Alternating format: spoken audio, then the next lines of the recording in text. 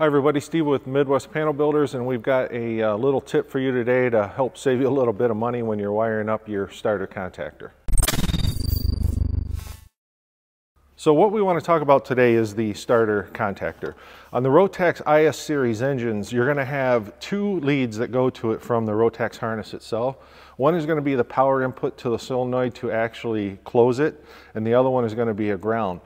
One of them is a ring terminal, one of them is a spade connector. So let me show you what mistake seems to happen sometimes.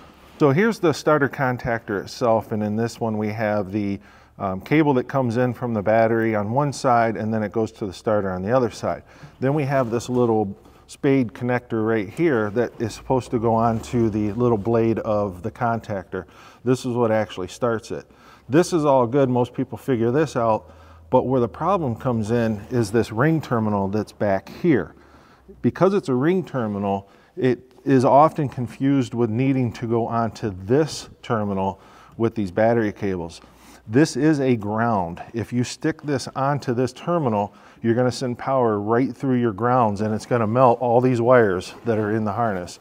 One wire melts and then it melts the other ones next to it. So what this is meant to be is this is a ground for the solenoid itself. Because the solenoid is rubber isolated from the body, we have to have a ground.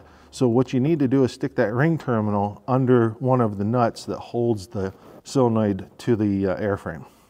All right, so that's the overview of the starter contactor and how it's hooked up. As you can see, it could be easy to make that mistake of putting the ring terminal in the wrong spot. So we wanted to do this video because we have had several builders that did that and then it's gonna cost a lot of time trying to get that fixed. So um, hopefully this won't happen to anybody else and that's why we're putting this video out. So we thank you for watching and have a good day.